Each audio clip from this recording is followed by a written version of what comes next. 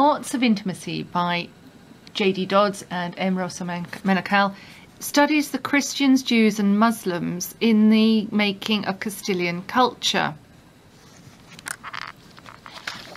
When Columbus set sail for the New World in 1492, he celebrated the last Mass at the church of San Jorge Martir de Palos.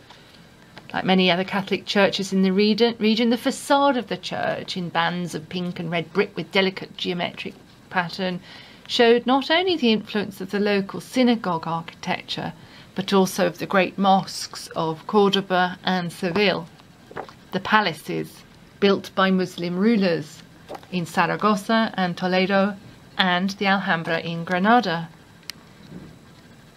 The Castilian culture which Columbus reflected, it, it reflected a mixture of uh, ancient sources.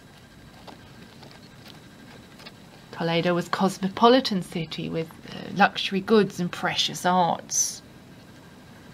It was also a centre of poetry, science and learning.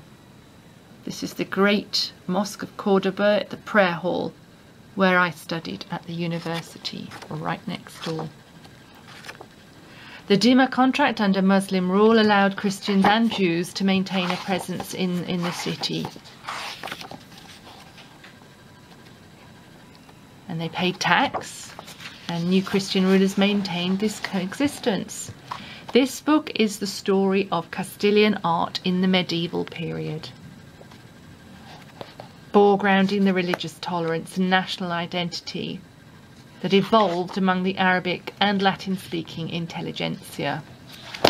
Many illustrations as you can see throughout. It's a £25 book through bibliophilebooks.com is just £7. The Arts of Intimacy.